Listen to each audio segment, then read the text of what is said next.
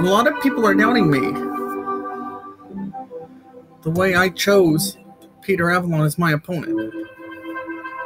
I want to show the world that children wrestling still exists in this world today. And what better way to do that than to have a steel cage match?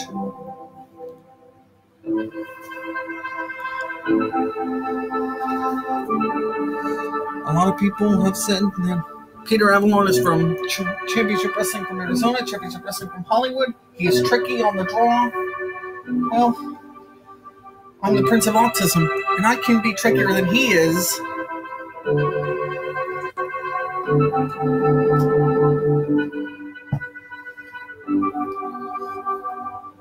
Every match is a fight of my life. I don't take every fight lightly. I train hard no matter what. Going into October 14th, I gotta be at the top of my game. And if I don't do that, well, Peter Avalon is gonna do something tricky and attempt to beat me. Well, I'm gonna be at 100% and in focus in this steel cage match because the winner, because the winner of this match gets a shot at the Impact Wrestling World title. Either Austin Aries or Johnny Impact will be the champion by the end of Bound for Glory. And whoever wins that will meet the winner of this steel cage match Avalon or Nathan. That's in the future.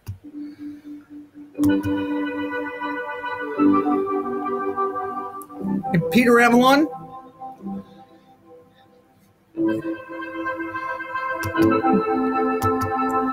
There's a good reason I'm your opponent for this October 14th. They didn't nickname me the Prince of Autism for nothing.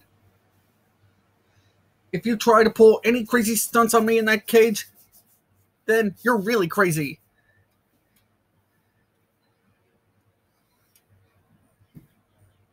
So watch out, you pinhead Peter Avalon, because the Prince of Autism, the sword of the Prince of Autism, is coming right down. Down on October